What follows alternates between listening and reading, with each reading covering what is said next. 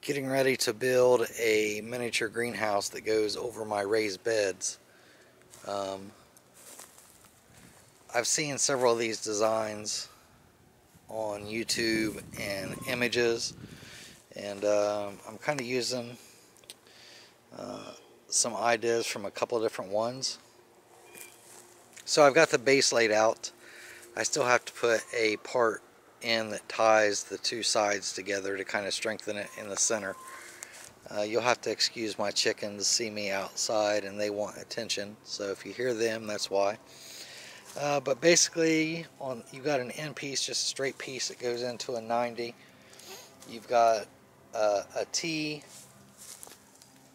another straight piece another T another straight piece another T another straight piece another T another 90 and then that goes back over to your end piece. So when I get it all done, uh, you'll be able to see kind of how it looks, but this is kind of the, the base of it. Um, I make made this one, it's not as wide as the bed, you can kind of tell here there's a gap on the edges because I've made it to fit in between the 4x4 post so it will actually go all the way down on the ground and then what that does is that allows me some room to be able to lift it up and add trays to it or water the trays etc so you'll see more as I go along in this build. So the next thing I'm going to do is cut some short pieces to go in these tees which will raise the sides up. And then uh, I'll show some more a little later on and I'll give a parts list how this was made at the end Okay, so since the last segment, I went ahead and put another T just about in the center and another bar to go across just to kind of give it some stability.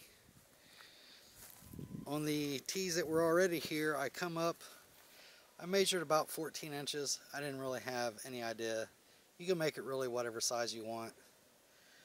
Um, so I come up 14 inches, I put a 45 then I come up again, put another 45, and then on the ends, there's little two short stub pieces here that goes on the ends will be a T, and then farther down uh, for the other ones in the center will be crosses, and then there will on the end to be another T. So uh, I've just kind of got this all dry fitted, and I don't know that I'm ever going to glue it together but uh, I think dry fitted is fine. I just kind of eyeballed it uh, to give you an idea. This end piece right here, when I measured it, was from elbow to elbow about 36 and a half inches.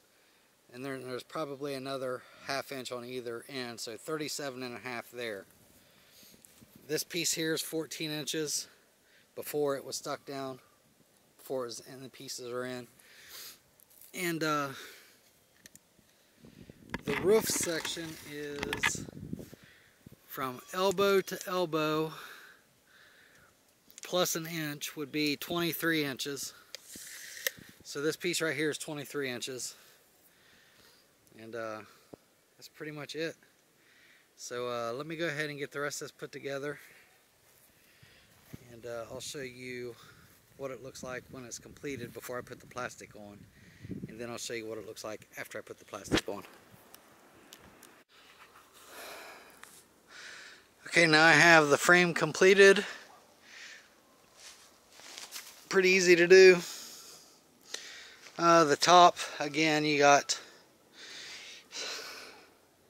another 45 another 45 combined with that 45 makes a 90 little stub piece of pipe. On the ends is a T and in the center are crosses.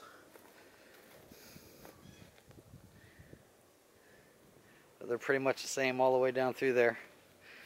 Um, pretty easy to set up. Took me about maybe hour hour and a half to build the whole thing all I've got left to do now is cover it in plastic and then uh, get me some seed trays underneath of it. I got this plastic either from Lowe's or Home Depot, same place I got all the PVC pipe. I can't remember which one it is. Um, it's basically 10 by 25 foot, 6 mil. And then I'm using Gorilla Tape.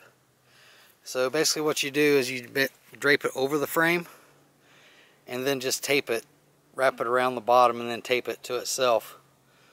And uh, that's what I'm getting ready to do now.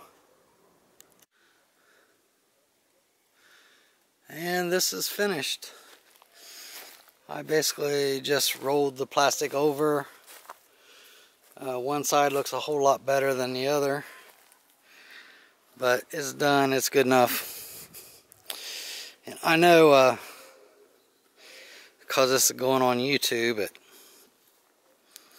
there's probably someone out there on YouTube that knows how to do things better than I do. and they're probably going to say I should have stapled that plastic instead of taping it. And that's the nice thing about YouTube. Because if you want to do something differently than I did, that's your choice. But I decided to use tape. Mostly because I was out of staples.